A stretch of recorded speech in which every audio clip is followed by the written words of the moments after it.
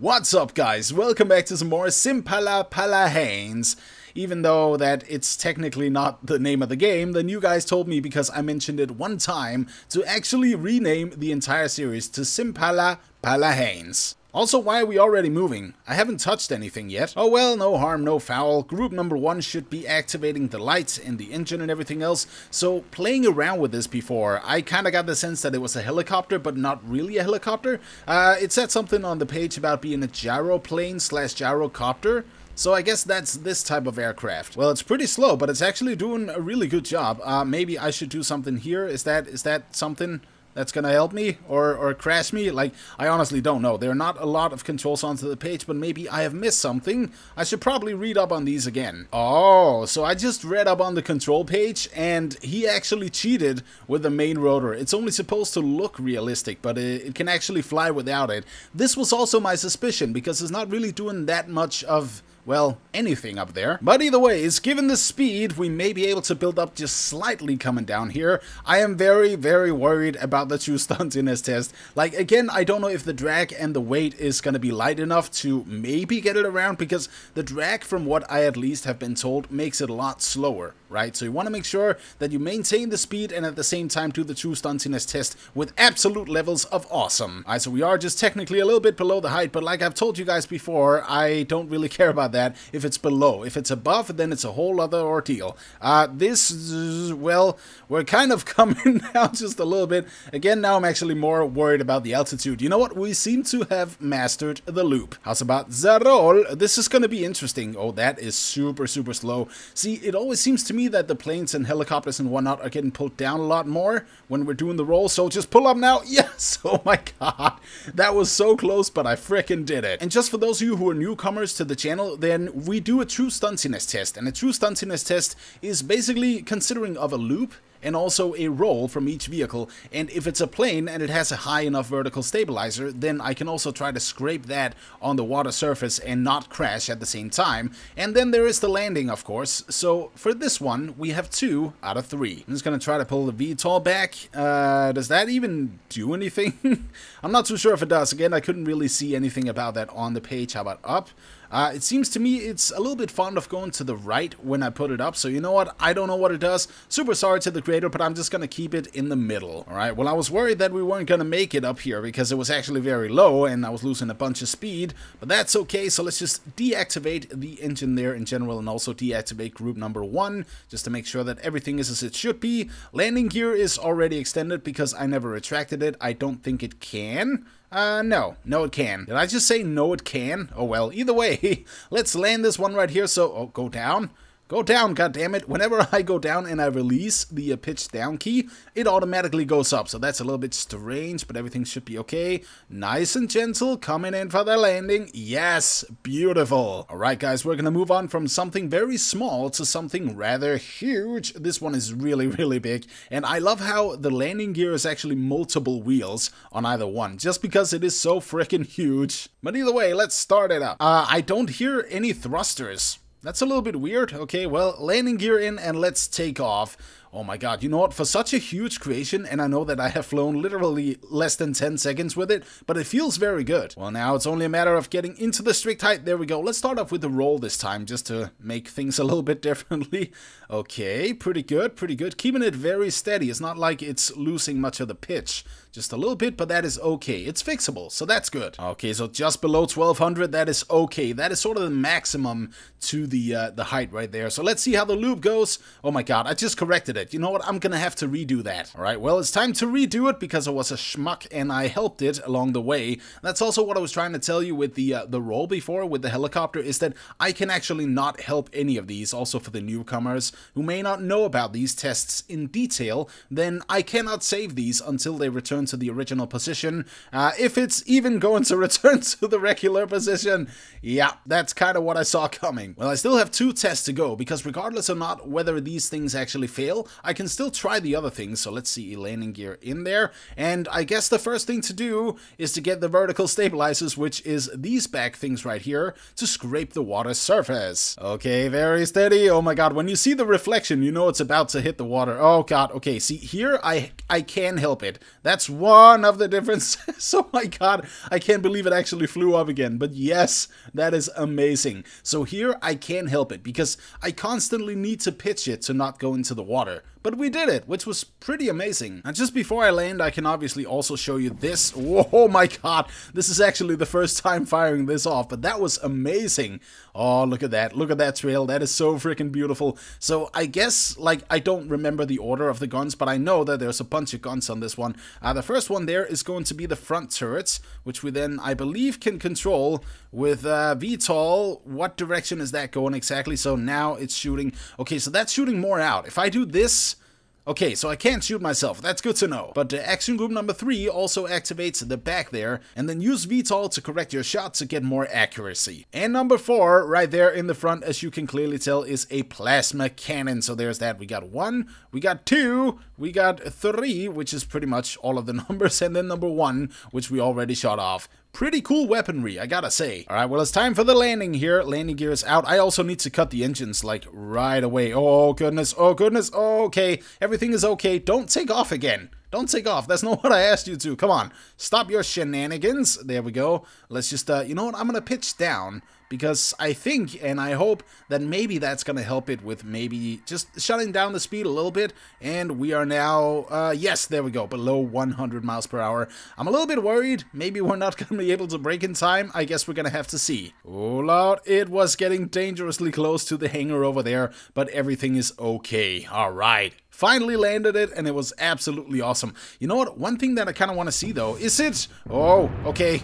No, it's not possible to blow up the buildings. At least not with those. Alright guys, so the next one up today is something I thought was a VTOL, because it has the fan for it, right, just dead in the center. I kind of thought this was a VTOL, but that is apparently not the case. Also, this one is an upgrade from a prototype that the creator has made earlier. This one features a much more sleek design and actual use of the prop and everything, so yeah, I don't know what half of that means, but it said it on the page, so that is good. Alright, well I guess we can try to take off. Yes, there we go. A little bit late, but that's okay, right? So one thing that I figured out while playtesting this is that it likes to tip down just very slightly. You see that? I'm not touching anything right now. Ah, now I'm touching something. I obviously need to save it where I can. You know what? I'm gonna give this one just a little bit of a challenge. Let's try to half the true stuntiness test height, right? So 500, that is the roll right there.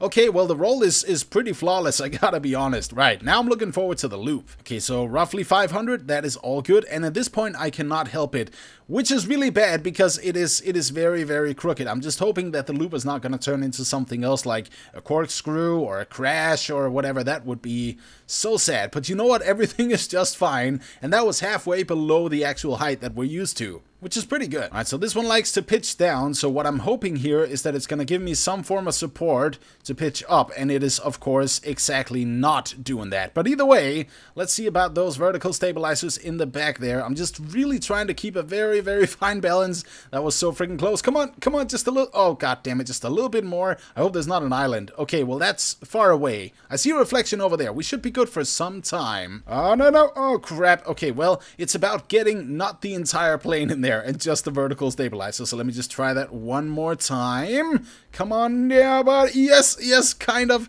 You know what? That is good enough for me. I will take it. All right, just a little bit of a bonus test, again, outside of the true stuntiness test height and whatnot, but just a little corkscrew.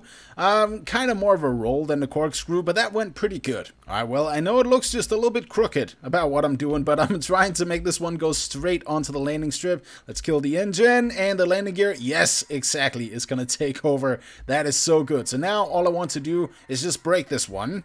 Again, not explode. That's something that I'm hoping to do with every single one of these creations in this video today. Ah, that is beautiful. You know, I'm a little bit disappointed that it's not a VTOL thing because I kind of thought that because of the fan in there. But still, it looks amazing and works pretty damn good too. Alright guys, next up today, just a little bit of a different thing than a plane. This is actually something of an AA tank, and this one is absolutely crazy. Just take a look at this, by the way. That is a fast freaking turnaround for this one. That is super, super cool. So I'm just going to set this to neutral. This one right here, oh crap, okay, not down because that is going to explode the thingy, but up, we can basically shoot our targets out of the sky. I guess action group number what, two? Oh crap, okay, well, action group number two explodes me and kills me horribly. I think I did something very wrong. Ah, see, here's the thing. I don't know if we have any cameras related to that. Uh, maybe this has something to do with it, but we do have two little missiles down here, or actually four. Two interceptors and two guardians. Anything air to ground? Uh, Ah, well, no, because we are not a plane. Well, I'm just a little bit confused about this one, because does it actually move? Like, does it even drive? I don't think it does. All right, VTOL up there. That is obviously also corresponding to the action group, so we can do something like this, right? But what I didn't show you before is action group number two before we exploded, which I think is, yeah, okay, so that's this one. We can still turn that one around as well. And that is being fired, yes, right there. Action group number three, again, this is going to be interesting. Uh, action group number three does not hold anything. So I say that we just go into, wait, hang on a second. Yeah, I can't fire these yet. I think I need to fire these, so let's go into a dogfight. Alright, so it's Vanadia Challenge versus Pigpen. I guess this tank here was based on some sort of challenge. Uh, you know, judging by the plane's missiles, I am a little bit concerned, simply because we cannot move but let's get into it. Uh, I seem to have a slight problem, that's right, because if I go in here, I cannot actually, yeah, exactly, like it's only available in sandbox mode, the locations feature, so yay. This is going to be a great dogfight. I can still, you know, I can still activate Group 1 and just spray and pray in the hopes that we may take down the pigpen. Oh, good lord, this is horrible. This is absolutely horrible. See, what I was hoping was to start off on the ground and then shoot him with the interceptors and the destroyers and whatnot, but uh, this is, is not promising to be good. I'm about to die at any second now. Literally any second I could die either from exploding or from drowning. Yeah, I'm sorry guys, but I just cannot get this one to work for the life of me. Pretty cool tank either way, like it's very, very good, and that main cannon is absolutely crazy, like a ton of firepower on that. I even think it's gonna lose half its weight once that clip is emptied. But either ways, guys, let's move on to the next. And the next creation up today, guys, is the Ring of Death. This one looks very intriguing, but at the same time, it kind of worries me a little bit because this landing gear may or may not get cut off off when we turn this one on. I guess we're gonna have to see. And for those of you with a very keen eye, you may also notice that there is a bit of a glow around this one. I'm just gonna try to go, yeah, you can see that just slightly. You know what, I have an idea. If I just go into the uh, settings there, game settings, and I turn this one down, you may be able to see a little bit better. There we go. Anyways, nighttime videos, they are not good for YouTube. Like just the general thing that YouTube does with the quality of the videos in terms of darkness is just not very good. But either way, let's see about this. I am hoping that that propeller is not going to turn on in... Oh my god, it's... Wait, what?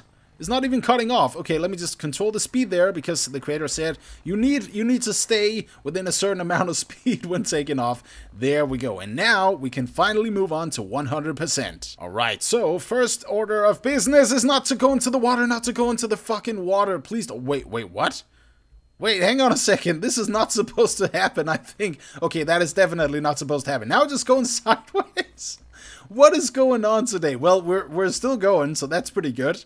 It's a plane and a freaking boat. Alright, so landing gear in. That is awesome. It was kind of stopping there for a little while, so I was a little bit worried that it may or may not have exploded, but everything is okay. This one actually looks pretty good and feels very good too. So roughly at a thousand feet, here is the roll. The roll looks absolutely incredible. Can we do a triple one before we hit the water? Yes, we can. Of course we can. The pitch is a little bit slow, so I wonder about the loop. Alright, so at about 1,000 feet roughly, I'm gonna start to initiate the loop. This one is gonna be interesting because the torque from the propeller below is most likely going to scoot this one out, as it is right now. It's almost trying to do half a corkscrew, I want to say, even though that's technically almost not really a corkscrew at all. What I'm hoping here is that it's simply just going to return to the horizontal position so that we don't crash and everything is going to be fine. Okay, so we're coming down to the water, actually very, very hot. We're coming in hot. Everything is okay. Oh my god, look at that. That is so good. You know, I was very worried for a second, but at 650 feet, That's good enough for me. Okay, so coming in for the landing here, I'm just turning off my engines as we speak. I don't think this one has any air brakes, but that is okay. Uh, maybe that was a little bit too early. I'm actually just going to put on the speed again. On. Come on, move up. Move up. Yes, freaking perfect. And then cut it. Cut it. Just cut the freaking speed. Stop the propeller because I need the landing gear out. Okay, I don't want to explode. Uh, there we go. This should be a... Well, this... No. Just no. No. I try this one more time. Come on in there, buddy. And then simply kill the speed, kill the speed. Make sure that we come in very, very delicately, very slowly, and very nicely. There we go. Oh, that suspension, oh. And he said it was impossible to land. Well, in his defense, the creator, I never even retracted the landing gear, because I tried this a bunch of times and it just did not want to work. But anyways, guys, thank you so much for tuning into some more Simpala Pala. I am still debating with myself whether or not I should actually call it that, or I'm gonna stick to simple planes. But yes, so these are some of the things that I have gotten sent to me from the email, and I think that that's a very good system. So if you want to send me any creations, the email is beardedplanes at gmail.com. But anyways, thank you so much for watching. Leave a like if you enjoyed this episode, and I'll see you in the next one. Peace.